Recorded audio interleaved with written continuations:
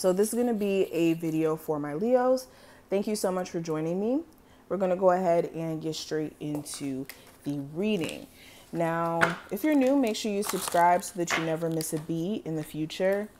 Also, if you would like to get a personal reading with me, just check out the description box or the comment section. I also post daily horoscopes on my Instagram at Mystikal Kristal Tarot or on my Twitter at Mystikal Kristal, just like how it's spelled here. Just look me up and follow me. And let's get into the reading. Oh, also, if you are going to book a personal session with me, there's a slight delay. I'm in the process of moving. I'll be completely moved like within the next week. Um, so the only sessions that will be delayed will be the um, video sessions. They may be delayed like a couple of days. The only ones that won't be delayed are the phone sessions. Um, of course, if they're not like you know, like right up under each other, of course that would be different. But um, my phone sessions I am going to make priority. So, yes, keep that in mind. But let's go ahead and get into it. The first card that we have, Leos, we have the Ace of Pentacles in reverse. So, hmm, this is the energy of you turning down something. This may be the advance of someone. So, this could be like someone trying to like get you to commit to them and you having to turn it down or make it clear that that's not necessarily what you're looking for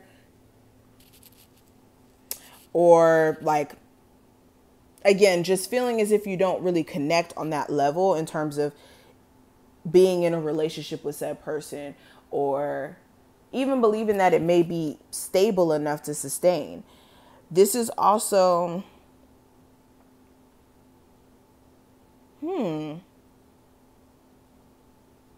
This is also anxiety and also instability in a sense where like there's a lack of stable income coming in or a lack of knowing where that career where that um yeah career would be what that career would be for you that will make you feel stable and secure um, this could also be just some of you guys mm, needing to have more of a a better relationship with money. This is the way you spend money. This is your perception of money. This is also your just overall understanding of money that may be a little off, okay? And then this is also some of you realizing that something just isn't as stable as you would have hoped it to be or what you believed it to be because this person may not be, you know, as involved in the connection you guys may have had with each other like they were at one point. So this is like them making the effort in the beginning to make the relationship work, texting, calling, all those things. And then now it may be like pulling teeth to get them to be consistent in those efforts, for example. Some of you are also like wondering like why you're having financial problems. Where is this coming from? Or some of you having money but still feeling unhappy in a sense. Okay, we also have the Page of Cups in reverse here. So, hmm. So this is you possibly, like I said, turning down somebody who may be slightly immature. This card is usually for a young child. so you may be dating somebody, of course, who's not a young child, but someone who acts like a child, who, who literally acts like a little kid or someone who's just emotionally immature. Like emotionally, they may be someone who like they're naive. Or like they they're confused about their own personal feelings, so they move in a very confusing way outwardly with other people.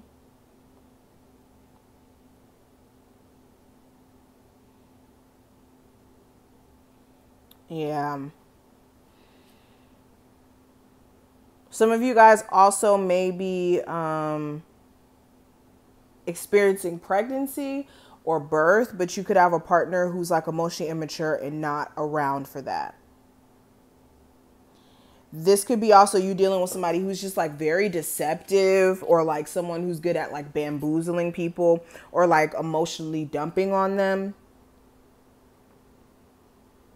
or like somebody who's just a distraction. You guys may be realizing that somebody is a distraction ultimately. This could be a Cancer, Pisces, or Scorpio, or really any zodiac sign that you may be um, dealing with romantically where you're realizing that, dang, this person is off.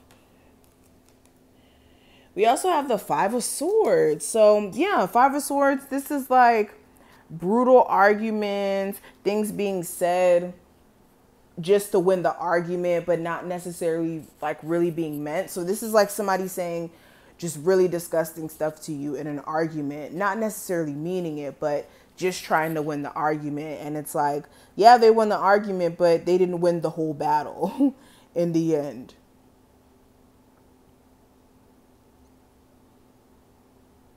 Yeah, this is also,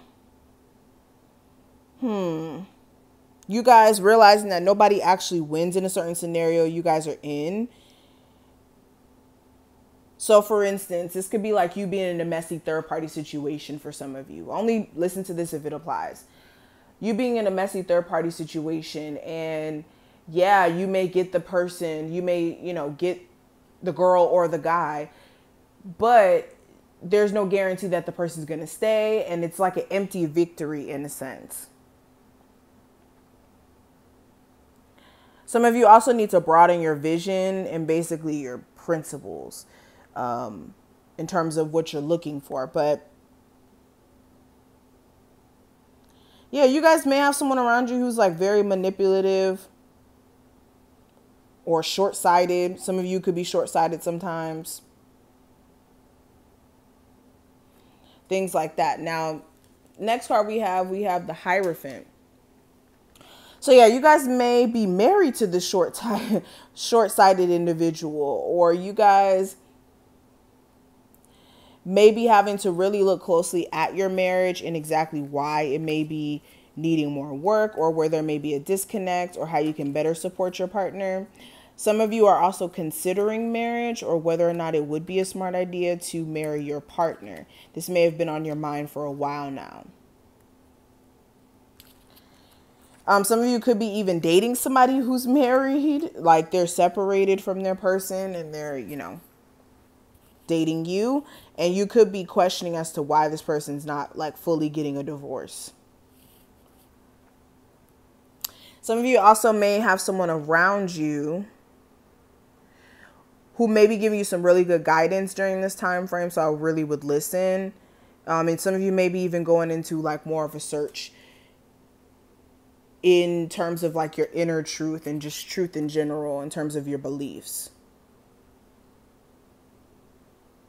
Some of you are also looking at your your day-to-day actions and how it's affecting your overall experience. But we also have the lovers in reverse. So yeah, another thing that's going to happen during this time frame, there's going to be a hard choice that you guys are going to have to make here and you guys are going to have to make it based off of what makes the most sense and you guys need to make sure that you're not making decisions that don't wholeheartedly align with the path that you're trying to go on. So make sure you're not making any long-term decisions that's going to actually put you in a bad position more than in a better position.